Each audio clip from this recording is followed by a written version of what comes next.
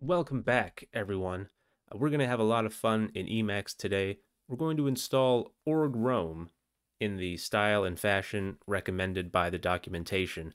Org roam is a package that you can install in Emacs for writing and hyperlinking various nodes of conceptual information or like bibliographic information, uh, literary resources, and uh, so basically, you can capture and organize your knowledge and uh, expand upon it and uh, make connections and things. Uh, so let's uh, jump right in here to Emacs and get it started.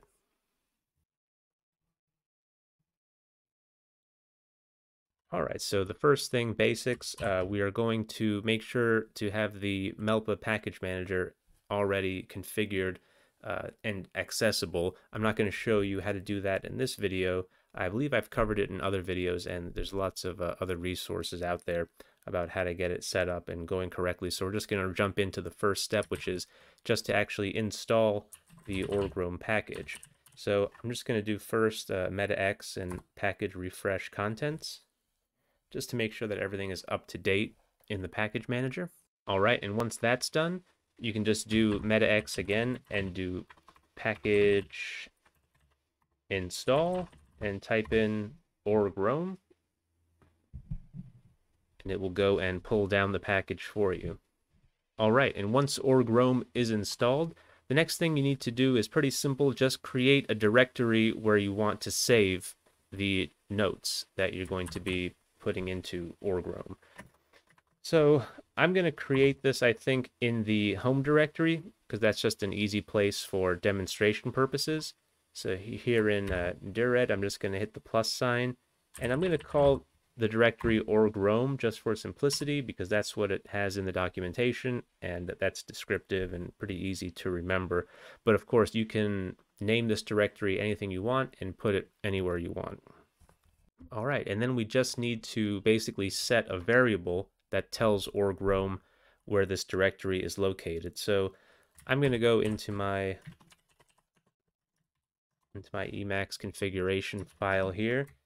And uh, I think toward the bottom here, we're going to add an Emacs Lisp source code block for it. And why don't we call this block org roam configuration here? Should be good and descriptive. All right, so to set the variable, you just want to type this line here. We're going to set the org roam directory variable to this.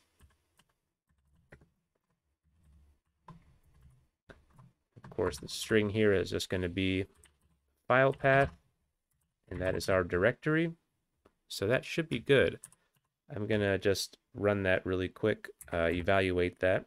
And so now org roam is going to know where to find our org files. The directory is set up. So now I should just be able to sync the database, but this is going to trigger an error, which uh, is good because we're going to see how to fix it.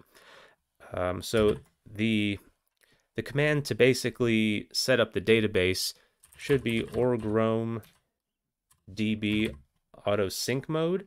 That will also turn on um, automatic database syncing for the program itself. So let's Let's run that really quick. And there is the error I was talking about. No Emacs SQL SQLite binary available. Could not find C compiler. So I got this error because I thought that uh, my system here had a C compiler like GCC, but uh, but it didn't. So all I had to do was uh, sudo apt install GCC, and of course, um, this command might be slightly different depending on uh, which package manager you're using in your distribution. I'm in Ubuntu here, so it has apt available. So I'm going to just type in the, the password there. All right, so now the installation of the C compiler is done. Of course, I use GCC, but there are other ones that you could use. That's just the one that I was familiar with. But now that that's running, we should be able to do the org roam db autosync mode again. And there you see, oh, it says it's disabled. So let's run it again. All right, so now the database is set up. org roam should be ready to use. So if we run a command here, org roam node find, this command will basically create a node if it doesn't exist already or open one that does exist. So I'm going to run that. So now you see it prompts me for the name of the node. Let's call it, um, so I'm going to call this node YouTube video process, let's say. So you see when it when it creates this this node, it, you may recognize this as an um, an org mode capture buffer. So basically, it's capturing this note um, as you would in any other org capture item. So I can just hit Control C, Control C, and now it's created. And you see it has an ID property. This is how you're going to be able to uh, link to this node no matter what the title is but you'll see that what I put in as the title got automatically saved as the name of the file plus uh, the like a, a date and timestamp here is to make sure that each node in your system is unique. So if I accidentally name something else YouTube video process at another time, it really doesn't matter because it's going to have a unique timestamp and it's going to have a unique ID. So we're, we're pretty safe when it comes to accidentally duplicating files here and avoiding that.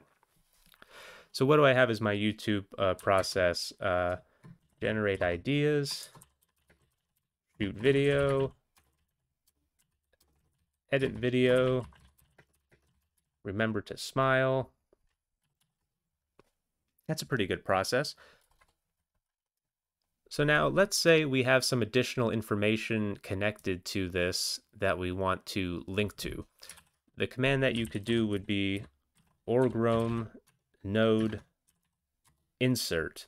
So now it will prompt you, uh, or um, it'll have some auto completions here for nodes that are already existing.